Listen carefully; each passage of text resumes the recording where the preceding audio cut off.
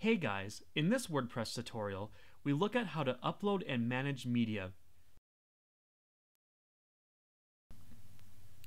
Okay, to get started, just log into your backend, and we are going to direct our attention to the media button right here. So just go ahead and click that. Now, in my intro to posts tutorial, I showed you a little bit of the media library. But here it's standalone and you can actually add media to your library and edit it before even actually putting it in a post. So, as you can see here on my list, I have an image already uploaded. And you can upload images, videos, music, even Flash documents if you choose to.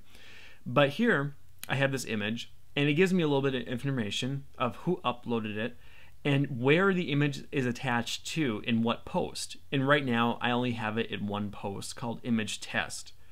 But anyway, that gives you a little information there. And of course, you can view it, edit the information, or delete it if you choose to. But let's go down here and click Add New. This is where you can obviously upload your new media, your images, your video, your audio, whatever it is. And here you have a couple of options. You can use the Flash uploader, which is default, or you can use the browser uploader. And again, this just depends on the capabilities of your browser and what you prefer. But anyway, you can just choose a file and just browse to the file on your computer and click upload. And then the image will, or the media file will appear in your list as I demonstrated here.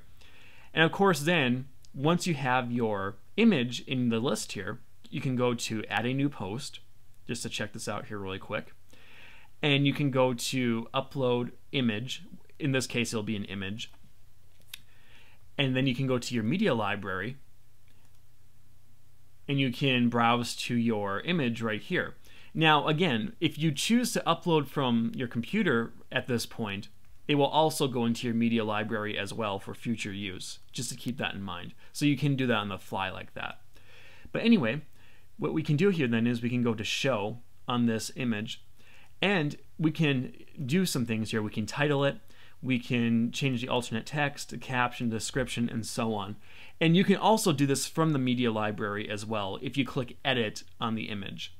But also here too we have some options down here. We can apply this image so that it's either centered, left, or right aligned on the post. And we can also adjust the size. So let's say we just want a thumbnail of the image. Well, we can easily do that just by clicking the thumbnail.